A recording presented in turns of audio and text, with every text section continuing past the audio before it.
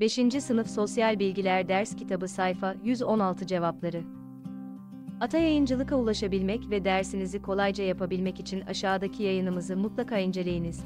5. Sınıf Sosyal Bilgiler Ata Yayıncılık Ders Kitabı Cevapları Sayfa 116 Meslek kavramından ne anlıyorsunuz? Düşüncelerinizi arkadaşlarınızla paylaşınız. Cevap, ben meslek kavramından bir kimsenin kendine temel çalışma alanı edindiği, geçimini sağlamak için yaptığı sürekli işi anlıyorum. 5.